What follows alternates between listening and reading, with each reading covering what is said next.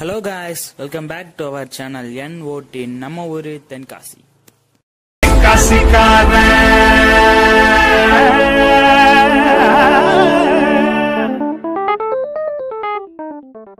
இந்த வீடியோவில் நம்ம எதை பற்றி பார்க்க போகிறோம் அப்படின்னா அதாவது இப்போ நம்ம தென்காசி மாவட்டத்தில் வந்து இந்த கொரோனா பாதிப்பு எண்ணிக்கை வந்து நாளுக்கு நாள் அதிகரிச்சுட்டே இருக்குது இப்போ வந்து எந்தெந்த பகுதியிலலாம் அந்த பாதிப்பு வந்து ஏற்பட்டிருக்கு அப்படிங்கிற பற்றி தான் அந்த வீடியோவில் பார்க்க போகிறோம் வாங்க பார்க்கலாம்.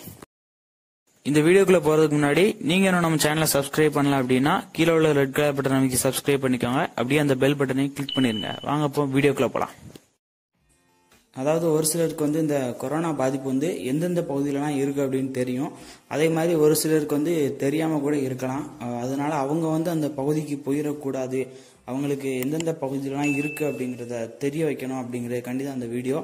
அதனால் இந்த வீடியோவை ஸ்கிப் பண்ணாம பாருங்கள் அதே மாதிரி உங்களுக்கு தெரிஞ்சவங்க எல்லாருக்கும் கண்டிப்பாக அதை ஷேர் பண்ணுங்கள் அதாவது நம்ம தென்காசி பகுதியில் வந்து இந்த கொரோனா பாதிப்பு வந்து ஃபஸ்ட்டு இல்லாமல் இருந்துச்சு. அதுக்கப்புறமா வந்து கீழப்புலியூரில் உள்ள உச்சிமாகாளி அம்மன் கோவில் தெருவில் வந்து ஒரு நபருக்கு வந்து இந்த கொரோனா பாதிப்பு வந்து உறுதியாச்சு. அதுக்கப்புறமா கொஞ்ச நாளாக இல்லாமல் இருந்தது. ஆனால் இப்போ ஒரு மூணு நாளுக்கு முன்னாடி வந்து தென்காசி கீழப்புலியூர் ரயில்வே ஸ்டேஷன் கிட்ட உள்ள புதுமனை தெருவில் வந்து ஒரு பெண்ணுக்கு வந்து கொரோனா பாதிப்பு வந்து உறுதி செய்யப்பட்டு சிகிச்சைக்காண்டி மருத்துவமனைக்கு அனுப்பி வச்சுருக்காங்க. அதுக்கப்புறமா அந்த பெண்ணோட குடும்பத்தில் உள்ள எல்லாருக்கும் வந்து இந்த கொரோனா டெஸ்ட் எடுத்து பார்த்ததுல ரெண்டு வயசு ஆண் குழந்தைக்கும் ஒரு வயசு பெண் குழந்தைக்கும் வந்து இந்த கொரோனா பாதிப்பு வந்து உறுதி செய்யப்பட்டிருக்கு. அப்புறமா அந்த கொரோனா பாதிப்பு உறுதி செய்யப்பட்டவங்கள வந்து உடனடியாக வந்து பாளை அரசு மருத்துவமனைக்கு வந்து சிகிச்சைக்காக கொண்டு போயிட்டாங்க.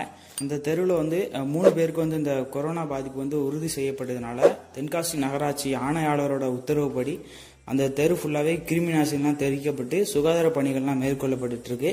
அதே மாதிரி அந்த தெரு ஃபுல்லாகவே இப்போ சீல் வச்சுட்டாங்க. உள்ளே உள்ள ஆட்கள் யாரும் வெளியிலும் வர முடியாது. வெளி ஆட்கள் யாரும் அந்த தெருவுக்குள்ளும் போக முடியாது.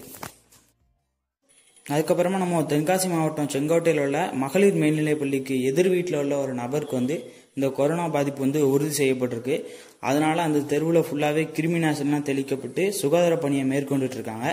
அந்த தெருவுக்குள்ள வந்து வெளியாட்கள் யாரும் வரக்கூடாது அப்படிங்கிறதுனால மக்களே அந்த தெருவை வந்து க்ளோஸ் பண்ணி வச்சுருக்காங்க.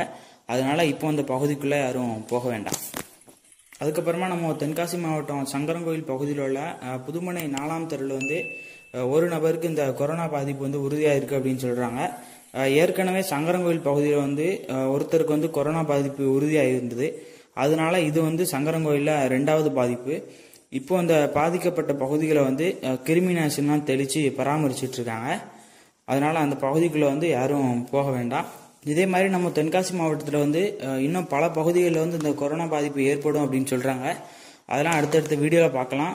இதெல்லாம் சொல்கிறதுக்கு காரணம் என்ன அப்படின்னா அந்த கொரோனா பாதிக்கப்பட்ட பகுதிக்கு வந்து இந்த கொரோனா பீரியட் முடிகிற வரைக்கும் யாரும் போக வேண்டாம் அப்படிங்கிறத தெரியப்படுத்துறதுக்காண்டி தான் எந்த விதத்தில் வேணாலும் பரவுவதற்கான வாய்ப்பு அதிகமாக இருக்குது அதனால் வெளியில் எங்கே போனாலும் கண்டிப்பாக சமூக இடைவெளி பின்பற்றுங்க.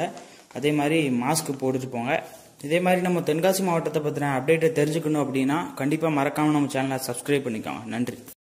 இந்த வீடியோ பிடிச்சிருந்தா லைக் பண்ணுங்கள் மறக்காமல் உங்கள் ஃப்ரெண்ட்ஸ் எல்லாருக்கும் இதை ஷேர் பண்ணுங்கள் அப்புறமா இந்த வீடியோ பற்றின கருத்தை கண்டிப்பாக கீழே கமெண்டில் சொல்லுங்கள் நன்றி.